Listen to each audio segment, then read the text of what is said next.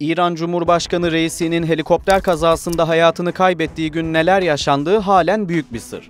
Dünyanın gözü kulağı oradan gelecek yeni detaylardayken Ermenistan'dan ajanslara düşen son dakika gelişmesi hemen herkeste yine aynı son mu telaşına neden oldu.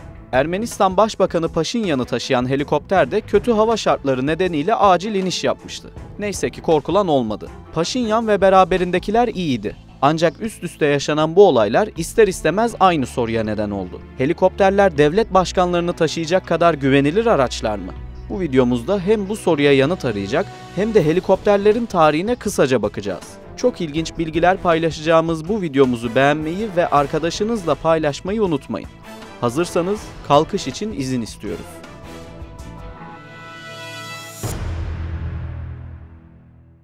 Takvimler 6 Mayıs 1941'i gösteriyor.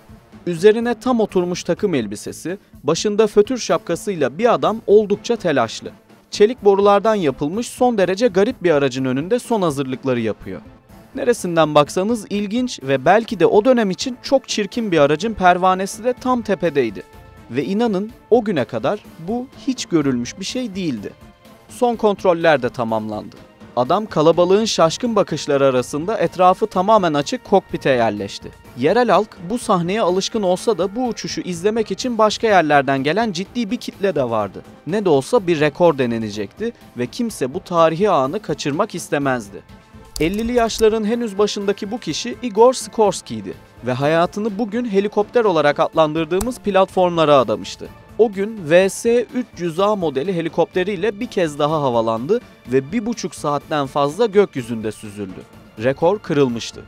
Igor Sikorsky'nin VS-300A ile yaptığı o uçuş helikopter dünyasının en önemli kırılmalarından biriydi.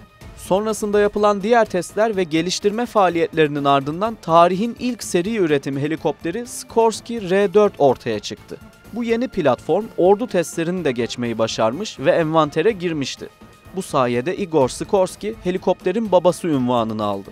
Peki sizce Igor Sikorsky neyi doğru yaptı da bugün bile temelde onun yıllar önce yaptığı işler oldu? Buna cevap verirken sizi mühendislik bilgisine boğmadan en yalın haliyle anlatmaya çalışacağız. Tüm hava araçlarına etki eden 4 ana kuvvet var. Taşıma, ağırlık, itki ve sürüklenme. Bu kuvvetler zıt yönlü.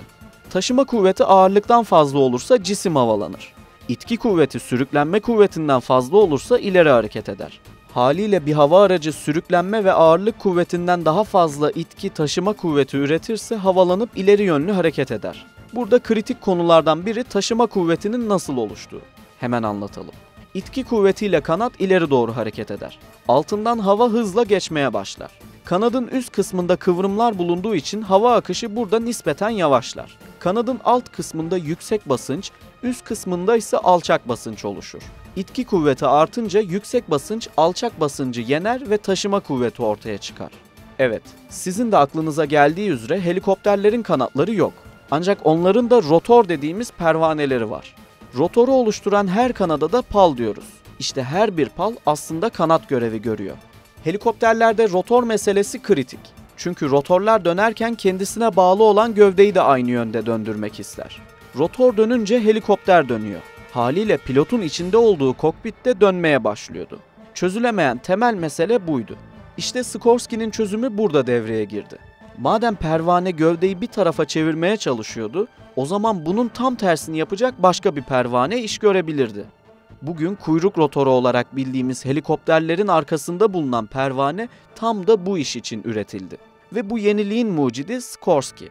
Onun ortaya koyduğu bu yeni yöntemle helikopterler artık düz bir şekilde gövdesi dönmeden uçabiliyordu. Artık rotorun helikopter için nedenle hayati olduğunu biliyoruz. Tahmin edeceğiniz üzere helikopterde en ölümcül kazalar kuyruk rotorunun tamamen kaybedildiği zamanlarda gerçekleşir. Kuyruk rotoru kaybedilince helikopter ve gövdesi havada daireler çizmeye başlar ve helikopteri kontrol etmek imkansız hale gelir. Bu nedenle kuyruk rotorunun çok az çalışması dahi ölümle yaşam arasındaki ince çizgide belirleyici olabilir. Şimdi herkesin merakla beklediği o soruya cevap verelim. Helikopterlerin motoru arıza yaparsa ne olur? Burada otorotasyon kavramı devreye giriyor. Bir helikopterin motoru dursa bile hava akımı rotorları döndürmeye devam etmek ister. Rotorların dönmesi sizin de bildiğiniz gibi taşıma kuvveti oluşturur. İyi gibi görünüyor değil mi? Ama bir problem var. Rotor içindeki çok sayıda dişli transmisyon sistemine bağlı. Acil durumda pilot bu nedenle pervaneyi dişli kutusundan ayırır. Bunu arabayı boşa atmak gibi düşünebilirsiniz. Pervane serbest şekilde dönmeye devam eder. Helikopter olağandan daha hızlı bir şekilde yere doğru yaklaşmaya başlar. Pilot eğer kontrolü halen elinde tutabiliyorsa son anda burnu kaldırır. Amaç tüm hızla zemine vurmanın önüne geçmek. Eğer şartlar uygunsa bu tür bir inişte canınız büyük ihtimalle sağ kalır. Ama şartlar uygun değilse, mesela ansızın inmeniz gereken yer zemin açısından müsait değilse, çok dağlık ya da ağaçlık bir bölge ise, bu durumda işler gerçekten de çok kötü sonuçlanabilir. Helikopterde acil inişleri sadece motor durduğunda yapılmıyor. Zaman zaman kötü hava koşulları yüzünden de acil iniş gerekir. Özellikle sivil havacılıkta kullanılan helikopterler çoğunlukla görerek uçar. Yani çok ciddi radar ve benzer sistemler entegre edilmemiştir.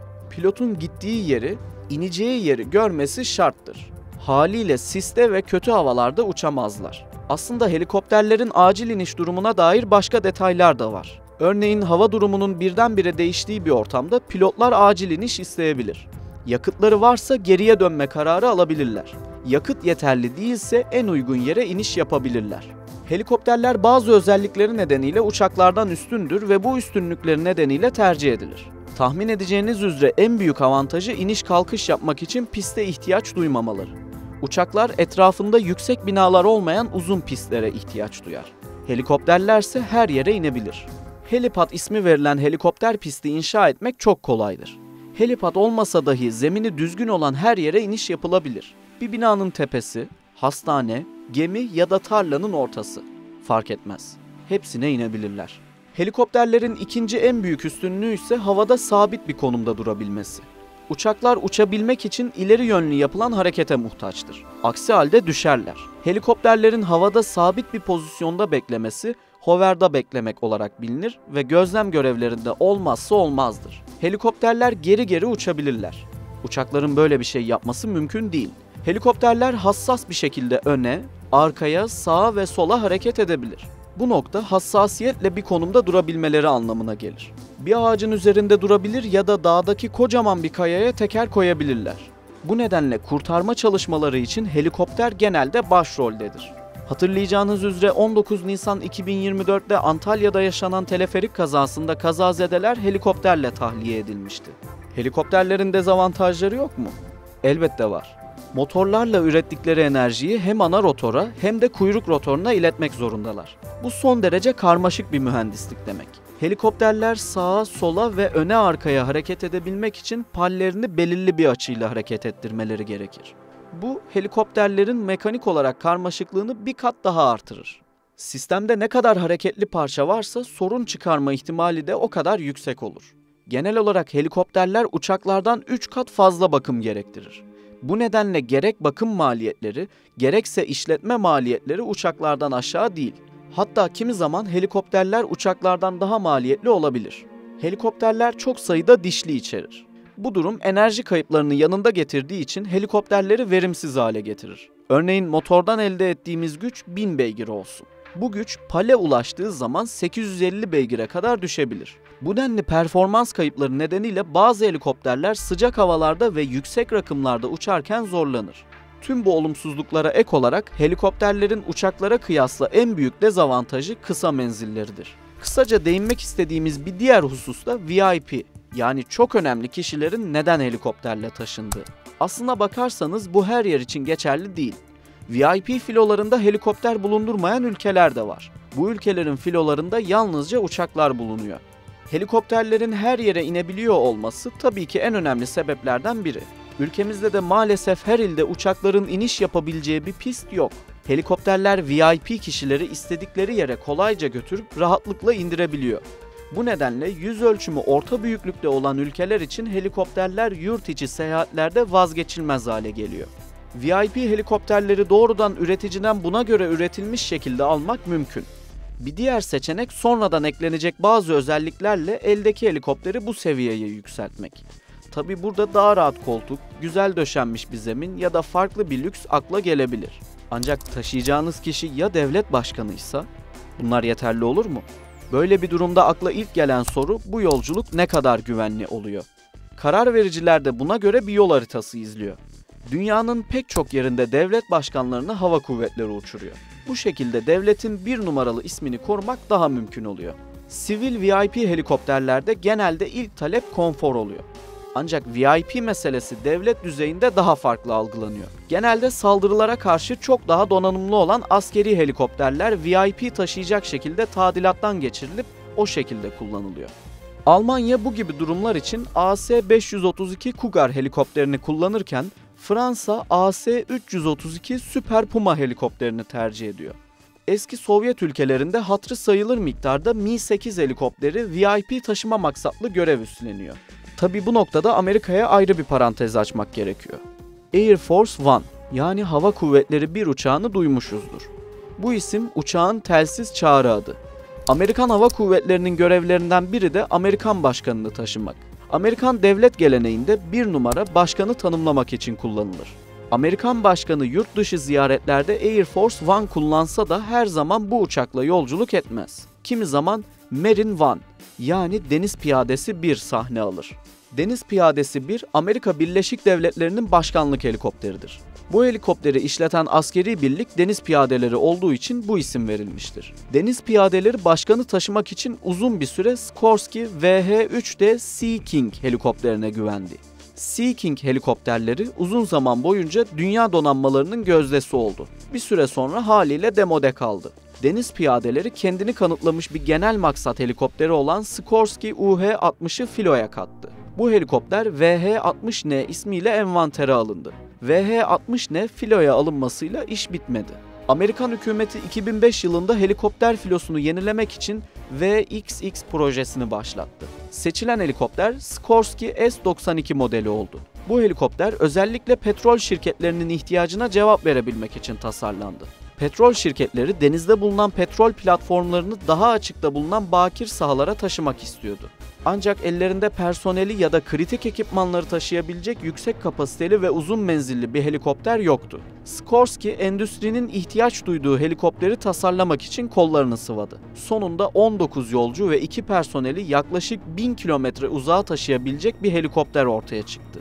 S-92 helikopteri kısa zamanda ilgi odağı oldu. Onunla ilgilenenler sadece petrol şirketleri değildi. Helikopterle yolcu taşıyan hava yolları da S-92 ile ilgileniyordu. S-92 kısa sürede 300 adetten fazla üretildi ve en çok tercih edilenler arasına girdi. S-92 başkanlık filosunda VH-92 Patriot ismiyle görev yapacak. İçi lüks döşendi ve başkanlık hizmetine sunuldu diye düşünüyorsanız yanılıyorsunuz. Onun görevi yolcuları A noktasından B noktasına taşımak değil. Amerikan başkanını istediği yere götürürken onun için en üst düzey korumayı sağlamak. Bu nedenle Amerikan başkanını taşıyan helikopterin gövdesi balistik korumalı. Ayrıca standart bir S-92'den daha yüksek çarpışma dayanımına sahip. VH-92'nin gövdesi başkanı nükleer serpintiye karşı koruyabilir. Ayrıca üzerinde çok gelişmiş erken uyarı sistemleri var. Sadece bu da değil. Elektronik harbe karşı da oldukça güçlü bir savunması mevcut. Amerikan başkanının helikopteri füzelerle yapılabilecek saldırıyı bertaraf etmek için radarları karıştırabiliyor. Şifreli bir iletişim sistemine sahip. Video konferans yapılabiliyor. Bu helikopterle basit bir yolculuğun faturası yüzlerce milyon doları bulabiliyor. S-92'nin VIP amaçlı tek kullanıcısı Amerika değil. Pek çok ülke VIP helikopteri olarak S-92 helikopterini kullanıyor. Azerbaycan, Tayland, Kuveyt, Türkmenistan, Güney Kore, Özbekistan ilk aklımıza gelen ülkeler. Türkiye'nin de Cumhurbaşkanlığı filosunda 3 adet S-92 VIP helikopteri görev yapıyor. Bu helikopterler TC Oba, TC Hud ve TC Hey isimleriyle tescil ettirildi. Videomuzun sonuna geldik. Sizin de gördüğünüz üzere helikopterler başlı başına son derece karmaşık platformlar. Hele ki devlet başkanı taşıyanlar çok daha zorlu sınamalarla karşılaşıyor. Umarız hiçbiri en ufak bir kazaya karışmadan sağ salim tüm uçuşlarını tamamlayabilir.